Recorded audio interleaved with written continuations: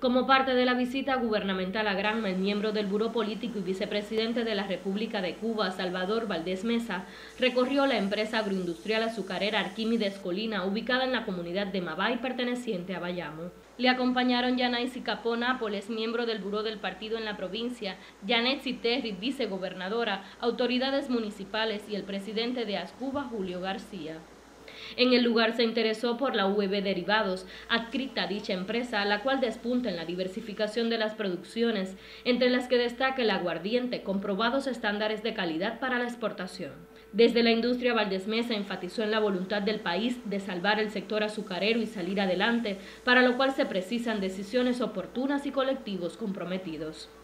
En este territorio oriental de los cinco centrales solo muelen dos, el Enidio Díaz entre los mejores del país y este, el Arquímedes Colina, en el cual se trabaja por recuperar unos 16 días de atraso. Lo cierto es que el cumplimiento de la zafra azucarera es una tarea pendiente en Granma.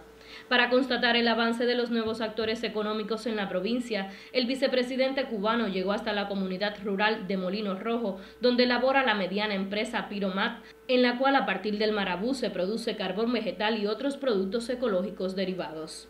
En intercambio con los miembros de la MIPIM, el propietario Eliezer Arias Pérez explicó el proceso para la obtención de fertilizantes orgánicos, al tiempo que el vicepresidente de la República se preocupó por el impacto del proyecto en el desarrollo local y su progreso hacia mayores resultados para el mercado nacional y la exportación. Donde se genera la divisa aquí.